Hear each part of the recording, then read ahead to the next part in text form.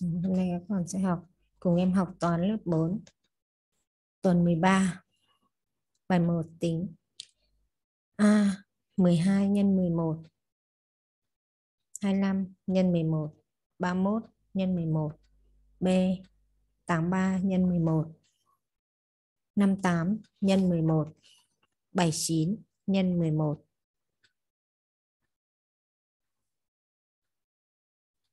Các con sẽ dừng video và làm bài cho cô nhé.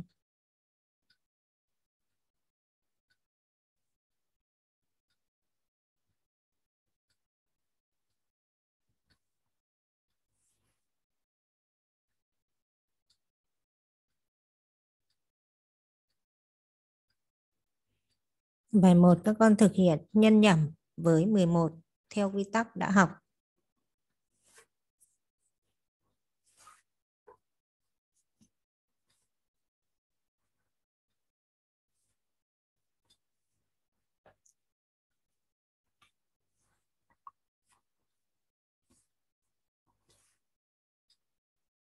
Ờ, Rồi chúng ta sẽ có lời giải như sau. A 12 nhân với 11 bằng 132. 25 nhân 11 bằng 275. 31 nhân 11 bằng 341. B 83 nhân 11 bằng 913. 58 nhân 11 bằng 638.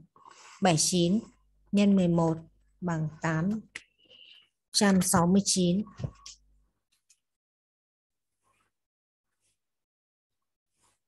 Bài 2 đặt tính rồi tính. A 121 nhân 131. B 211 nhân 252. C 3014 nhân 125. D 4056 nhân 231.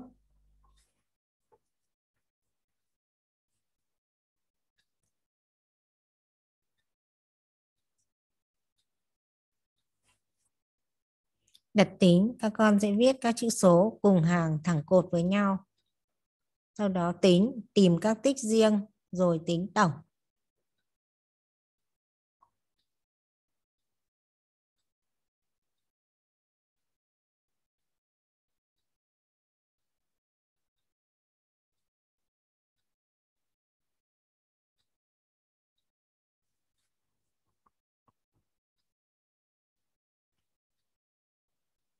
Sẽ có kết quả như sau.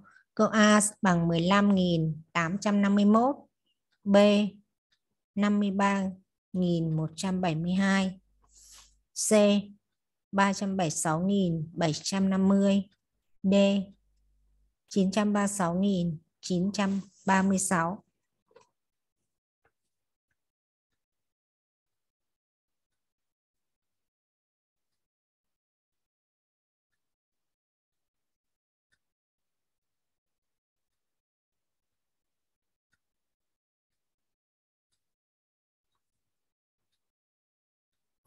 Bài 3.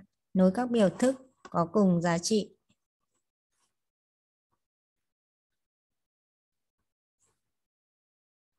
Các con đọc thầm bài. Sau đó, ta sẽ thu gọn biểu thức ở cột bên trái, thành các phép tính có dạng một số nhân với một tổng hoặc một hiệu. Sau đó nối các ô có chứa hai biểu thức bằng nhau.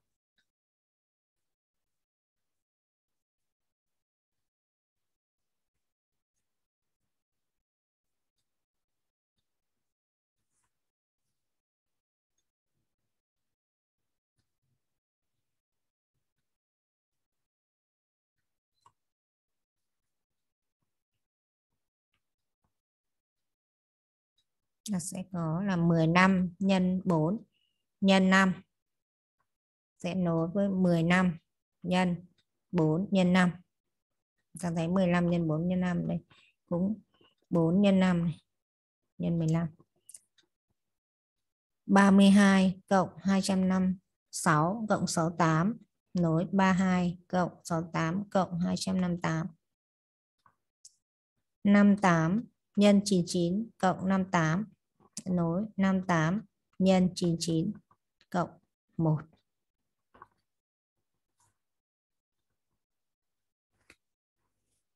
một trăm cộng tám nhân hai mươi sẽ nối với một trăm nhân hai mươi cộng tám nhân hai mươi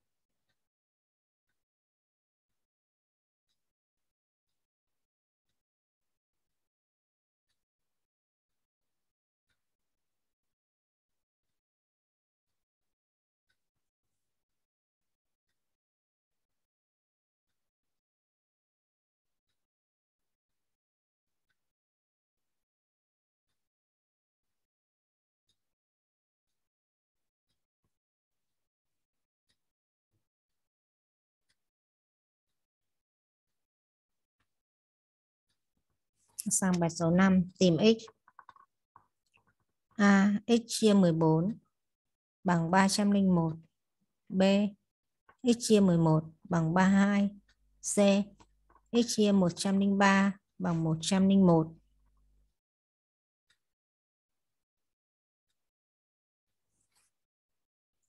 Ở đây chúng ta thấy là muốn tìm số bị chia, ta lấy thương nhân với số chia giờ các con sẽ dừng và làm bài.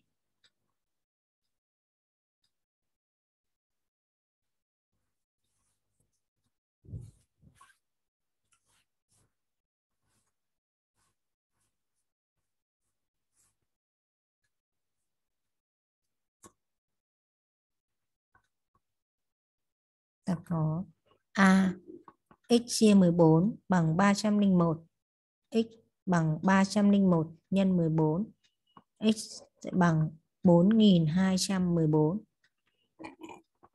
B, x chia 103 bằng 101 x bằng 101 nhân 103 x bằng 10.403 C, x chia 11 bằng 32 x bằng 32 nhân 11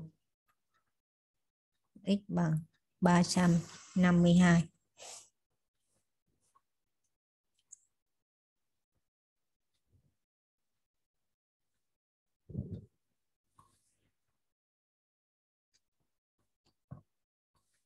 Sang bài số 6.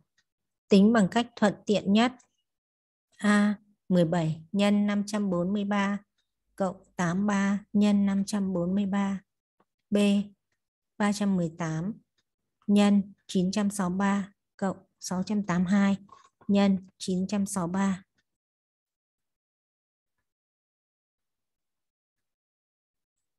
Bài này các con sẽ áp dụng tính chất của một số nhân với một tổng hoặc một hiệu rồi tính giá trị của biểu thức đó.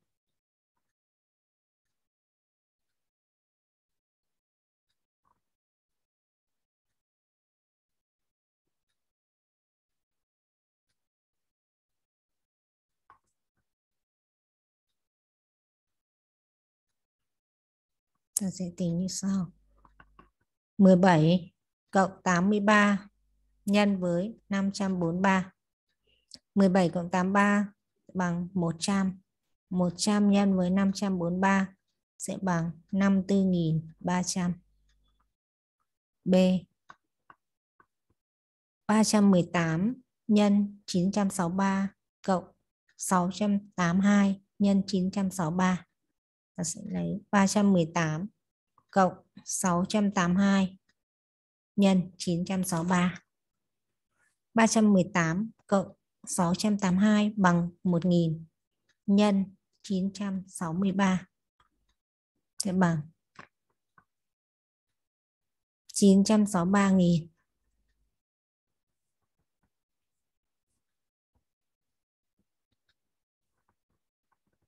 Bài số 7 viết số thích hợp vào chỗ chấm.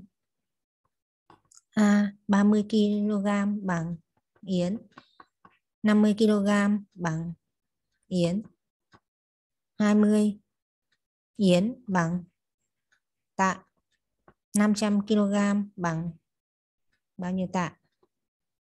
10 tạ sẽ bằng bao nhiêu tấn và 4.000 kg bằng bao nhiêu tấn? B 900 cm vuông bằng bao nhiêu dm vuông? 30 3600 cm vuông bằng bao nhiêu dm vuông? 2 mét vuông bằng bao nhiêu dm vuông? 16 mét vuông bằng bao nhiêu dm vuông? Và 600 dm vuông bằng bao nhiêu mét vuông?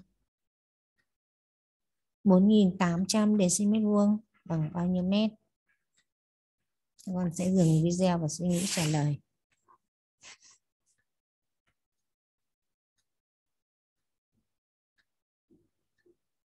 Bài này các con sẽ đổi các đơn vị khối lượng rồi điền kết quả vào chỗ trống.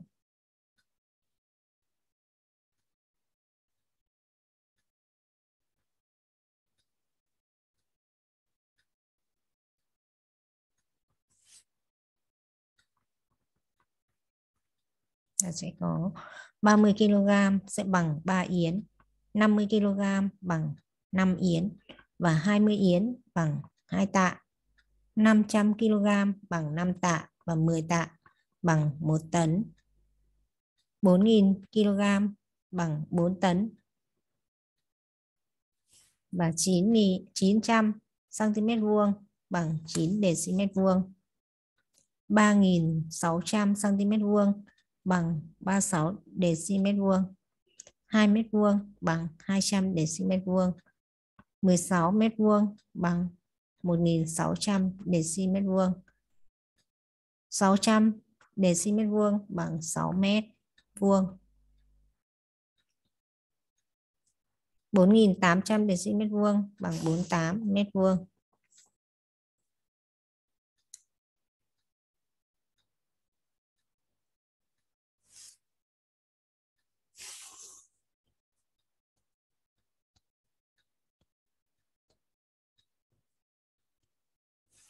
Bài số 8 viết tiếp vào chỗ chấm cho thích hợp.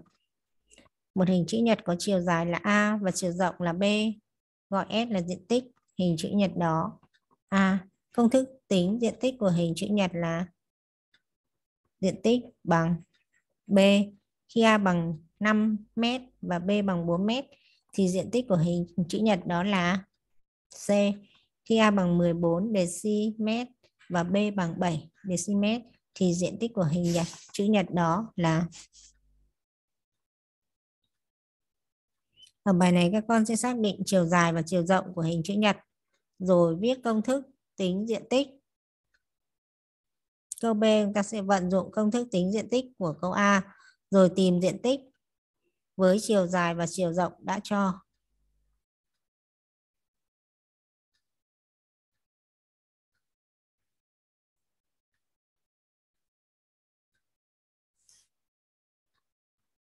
Thấy công thức tính diện tích của hình chữ nhật là diện tích sẽ bằng chiều dài nhân chiều rộng. Ở đây chiều dài được là A và B, chiều dài và chiều rộng là A và B. Vì vậy, S sẽ bằng A nhân B. Khi A bằng 5 và B bằng 4 thì diện tích của hình chữ nhật là sẽ bằng 5 x 4 bằng 20 mét vuông. Và khi A bằng 14 dm và B bằng 7 dm thì diện tích của hình chữ nhật sẽ là 14 nhân 7 bằng 98 dm vuông.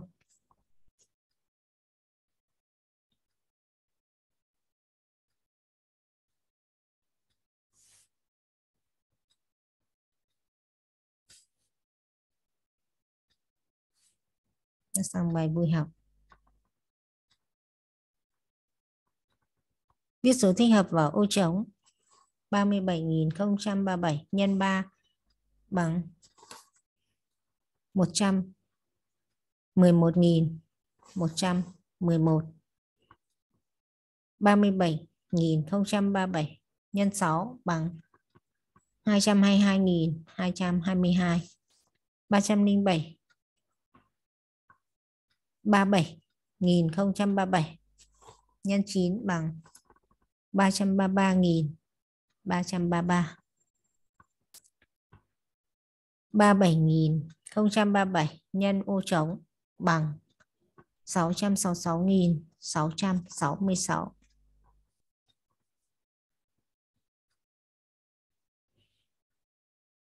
Ở đây chúng ta sẽ thấy là 666.666 gấp 111.111 bao nhiêu lần? Thì số cần tìm gấp bấy nhiêu lần.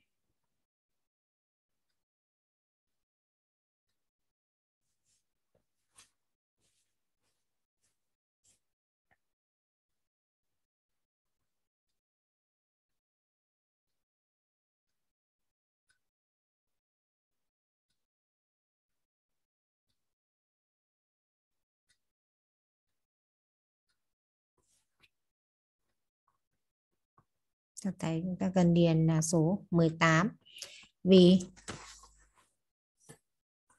37.037 nhân 18 sẽ bằng 37.037 nhân 3 nhân 6 sẽ bằng 111.111 nhân 6 bằng 666.666. Bài học của các con đến đây là hết rồi. Chúc các con chăm ngoan, học giỏi.